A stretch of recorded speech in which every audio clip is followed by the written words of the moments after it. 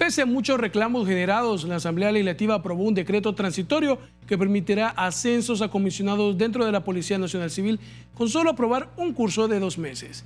La ley manda a la Academia Nacional de Seguridad Pública a garantizar la preparación de este personal, pero los diputados dicen que hay muchos atrasos. Creo que esta Asamblea Legislativa, y con todo el respeto que me merece, no debiese traer a la mesa este tipo de discusiones o aprobación de decretos o simplemente la emisión de dictámenes. Porque esta es una tarea que le corresponde eminentemente a la estructura de seguridad pública.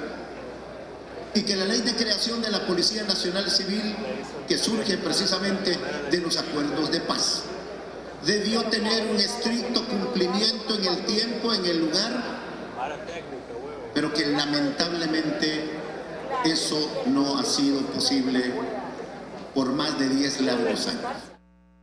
El director de la Academia Nacional de Seguridad Pública pidió a la Asamblea no seguir autorizando estos cursos con los que se facilitan los ascensos, pero los diputados ignoraron la petición.